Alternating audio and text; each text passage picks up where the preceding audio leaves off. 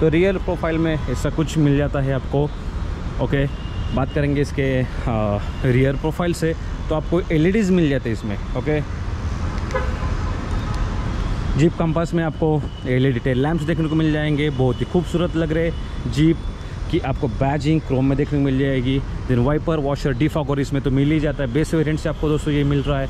Then आपको high mounted stop lamp spoiler के ऊपर दिखाई देने वाला है। नीचे आपको दो रिफ्लेक्टर्स मिलेंगे और दो पार्किंग सेंसर्स देखने को मिल जाएँगे। स्पोर्ट्स स्ट्रीम की बैजिंग यहाँ देखने को मिल जाएगी।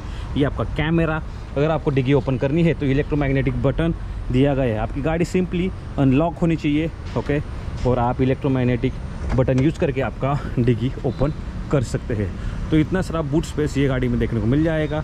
कोई भी आपको पार्सल ट्रे इसमें अवेलेबल नहीं है, लेकिन बूट लैम्प ज़रूर देखने को मिल जाता है। पार्सल ट्रे आप बाहर से इंस्टॉल कर सकते हैं। या थोड़ा बहुत स्पेस है तो आप वहाँ भी आपका सामान रख सकते हैं। देन स्पेयर टायर की बात करेंगे। तो दोस्तों एक इंच कम स्पेयर टायर मिलता है और इसकी जो स्पीड लिमिट है, वो है सिर्फ़ और सिर्फ़ 120 किलोमीटर पर आर की वो भी ज़्यादा होती है हमारे इंडियन रास्तों के लिए।